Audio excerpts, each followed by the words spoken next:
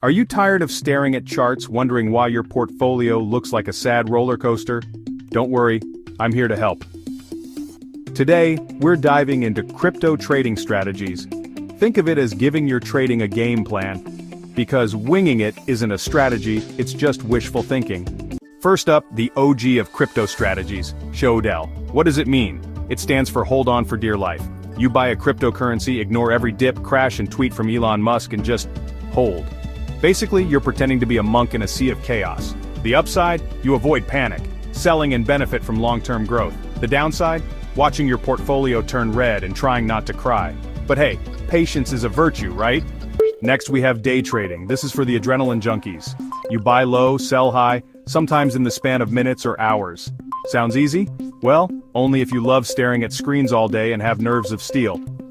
Pro tip, Never trade while you're sleepy, hungry, or watching Netflix in the background. That's how you accidentally sell Bitcoin for the price of a coffee.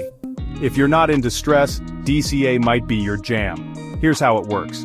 You invest a fixed amount regularly, no matter the market price. Think of it as the slow cooker of trading. You're in it for the long haul. The beauty? You don't have to time the market. The downside? It's not as exciting as shouting, buy the dip. But hey, boring can be profitable. Ready to feel like a crypto ninja? Scalping is all about making quick, small trades for tiny profits. It's like trying to catch fireflies. Quick reflexes, lots of focus, and a bit of luck. Warning. Don't try this strategy if your Wi-Fi is slower than a snail on vacation. Every second counts. Finally, there's swing trading. It's the middle ground between day trading and hodling. You hold a position for days or weeks waiting for the right moment to sell. It's perfect if you're not into high-speed trades but still want to feel like a pro when you catch a market swing. Bonus, you can actually sleep at night. So, there you have it. Crypto trading strategies to match your personality.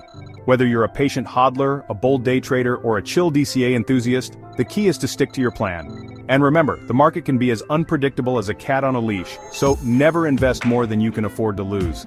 Thanks for watching. Drop your favorite strategy in the comments below, and may your trades be ever in your favor. See you next time. Join us and reach your next crypto level.